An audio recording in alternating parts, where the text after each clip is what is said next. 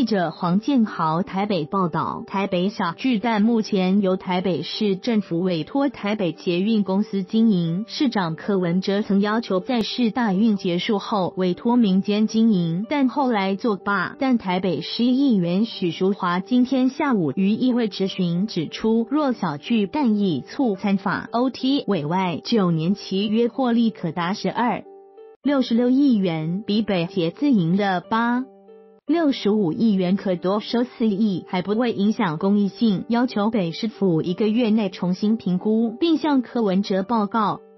许淑华表示，北捷年初曾对外招标台北小巨蛋委托民间经营管理评估顾问案，二月由台湾世熙公司得标后，却在五月十九日评估报告出炉前，北市财政局长陈志明就决定不委外评估报告九十二。五万元等于白花。财政局解释，当初是因为台北小巨蛋委托北捷经营的合约今年底就要到期，才研议有没有其他增加收入的方式。但后来考量小巨蛋有公益性和政策性用途，认为仍由北市府经营掌握较好，因此作罢。许淑华则指出，他拜读整本评估报告后，发现小巨蛋若采委外经营，获利明显较高。以 OT 模式签约九年来计算，土地租金、开发权利金、经营权利金，在扣掉地价税及房屋税后，市府大约能获利十二六十六亿元，比起市府自营的模式八六十五亿，足足多出了四亿元。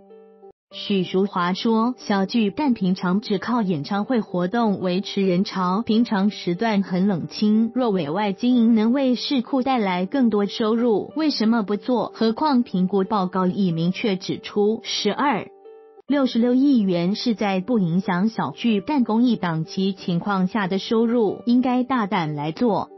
财政局则表示，由于年底合约就要到期，目前已正和北捷进行重新签约，延长约期三年。许淑华则要求，就算有北捷也，许淑华也说，北捷除经营捷运外，还受托经营猫空缆车、小巨蛋和儿童新乐园，不是做的不好，而是人力就是不够。既然如此，才更应该考虑将最能赚钱的小巨蛋委托。